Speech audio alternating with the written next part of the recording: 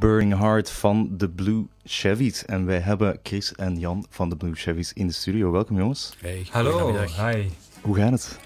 Ah, goed, hè, we zijn hier geraakt. Ja, recht uit Amsterdam. Ja, ik, eh, ik uit Brussel, maar ja, Ja. dat is ook een uitdaging.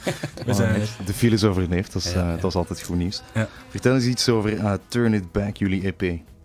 Hoe Wel, is die tot stand gekomen? Ja, Turn It Back is eigenlijk een, eh, het resultaat hè, van een reunie van de Blue Chevys, eh, zo mag ik het toch wel noemen.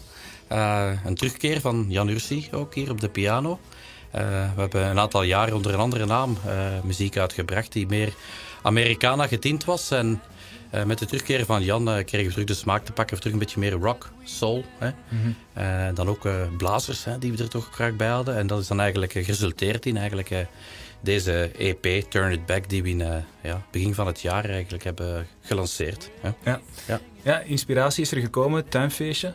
Eh Isolde et Benz trad op met muziek van de jaren 50 en 60, Franse popmuziek van de jaren 50 en 60.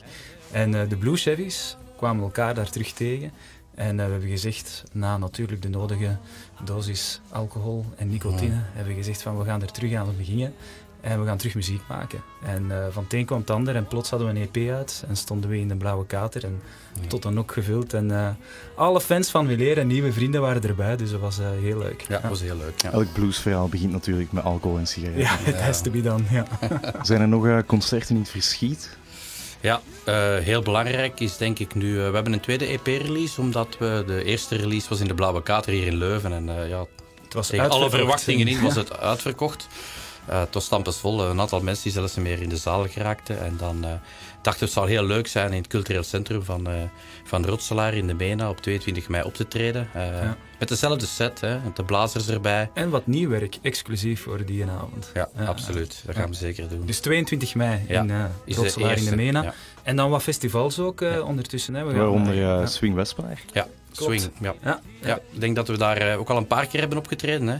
Ehm, en ze blijven ons terugvragen, dus daar zijn we heel blij om. Ehm, dus dat is dan eh, in, ergens in augustus zeker. Ja. 1 augustus, ja, inderdaad. in en eh, ook in Rijmenam, Rijmer Rijmer optreden we ook op, ja. En tussendoor toch een aantal eh, optredens in clubs eh, Ja. eh, in de buurt of buiten de buurt. eh, dus we zijn wel eh, goed bezig, denk ik. En eh, ja. Classic 21, hè. Ja, de radio Classic show 21, quiz. ja. Ah, dat klopt. quand, le, quand le rock devient classique. Ah, oui, c'est de pas de.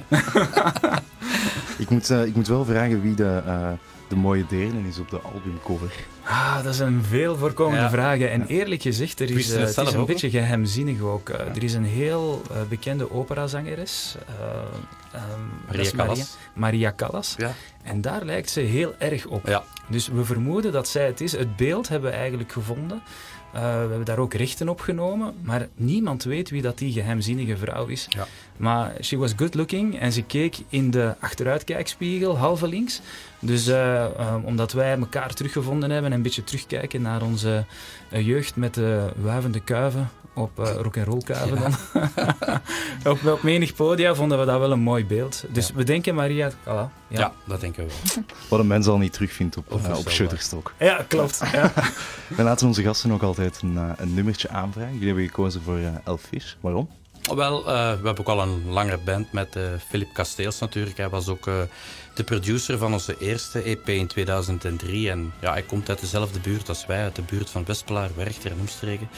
En we hebben die band altijd kunnen behouden. We hebben ook trouwens onze videoclip die je op YouTube kan zien van het nummer dat je zo pas hebt gespeeld, was in de zaak van Philip Kasteels in Ja. Sint-Job in het Goor. hè. Ja, de Ja. 101 Guitar Bar die hij daar gestart heeft Ja. met projecten voor jonge artiesten. En toen als we zeiden dat we terug samen waren, was hij de eerste om te zeggen, je komt toch bij mij de eerste keer spelen. En in de evolutie van de Blue Chevys eh, is Elfish ook altijd zeker een inspiratiebron geweest, eh, zonder twijfel. En eh, vandaar eh, dat we ook nu eh, in de set eh, nog altijd een kleine tribute doen naar Elfish hè, met dit nummer, Shake 'em, Ja, hij zit van Elfish. in de Die zit er vast in. Dus zij die geïnteresseerd zijn op 22 mei, komt graag langs en eh, dan kan je dit nummertje daar ook Misschien live is horen. Philippe er ook wel. Hopelijk, hè? Ja. ja.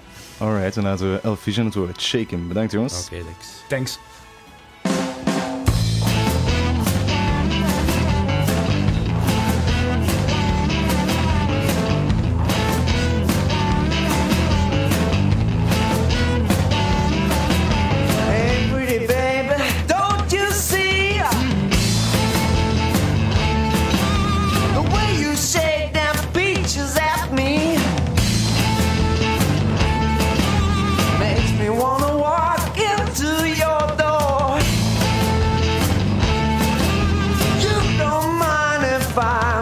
証拠